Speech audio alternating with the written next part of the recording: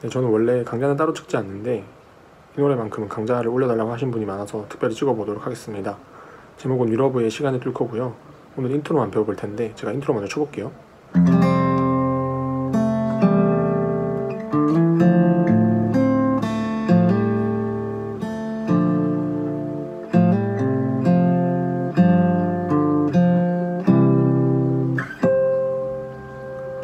네, 이렇게 인트로 끝나는데요.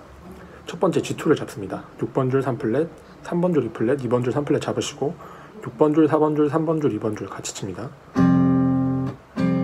근데 이거 한 번에 다 치는 게 아니고요. 한 줄씩 훑는 거예요.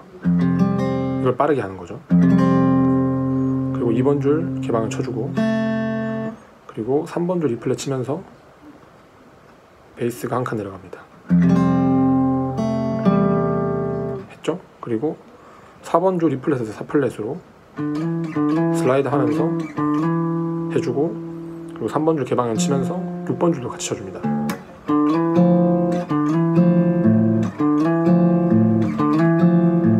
그리고 5번 줄 2플랫을 쳐주는데요. 이때부터 한동안 5번 줄 2플랫을 떼면 안 돼요. 베이스가 계속 올려야 되거든요.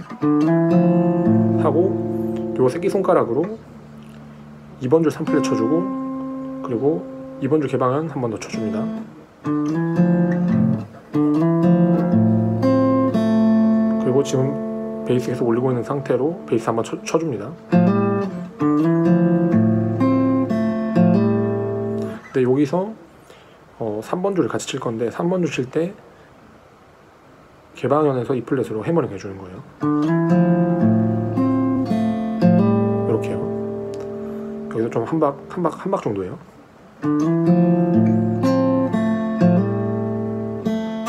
도박이네요. 그리고 시솔 2번 줄 개방현 그리고 C 메이저 7 잡고 어 5번 줄 4번 줄 3번 줄 같이 칩니다. 2번 줄 개방현 치고 치는 거예요.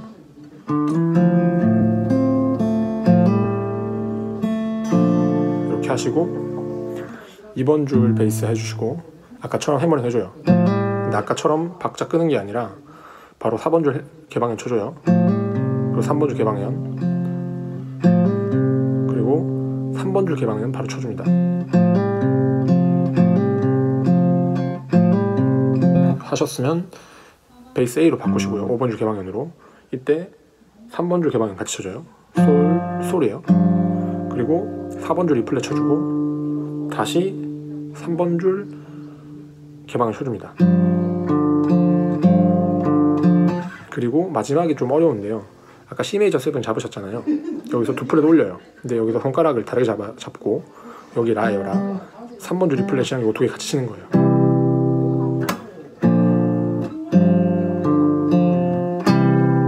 이렇게 치시면 돼요. 자, 여기까지 해볼게요.